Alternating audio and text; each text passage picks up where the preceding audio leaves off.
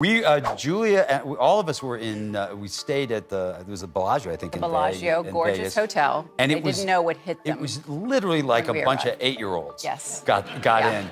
Rebels when run the Richard palace. Kind, It was terrible. Uh, my pal Richard Kind, who you know, he's Yeah. an actor, very funny. I remember when Richard came to visit. Yes. And we were we were staying down in these rooms down at the bottom of the uh, of the casino, and we didn't have a we had a rollaway bed, you know, For for, him, for Richard, and we were all up drinking and talking, and Pitt was there, and you know, Pretty Boy Damon was there, and all that. And Richard falls asleep on his rollaway bed. Whilst we're all kind of chatting, talking. we're, uh, we're having a little cocktail party around him in his cot. And we take the cot and we wheel it up into the middle of the casino and leave him there. Come on.